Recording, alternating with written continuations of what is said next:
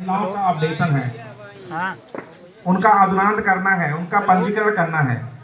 तो उसको हम आने वाले समय में सब मोबाइल पर जो है हाँ। उसके पोर्टल पर जो इसको जनरेट करेंगे उस पर करेंगे। हेलो। हेलो। बच्चों का टीकाकरण का कार्यक्रम है। वो हम अपने मोबाइल सिस्टम पर करेंगे। नंबर। भैया थोड़ा नहीं भेजा तो। तो आज हमारे मुख्य अतिथि महोदय के कर कमलों से आप सभी को जो है मोबाइल स्मार्टफ़ोन दिया जाएगा। तो हम सर से आग्रह करेंगे कि सर अपने कर कमल से हमारे आशा बहनों को हम्म?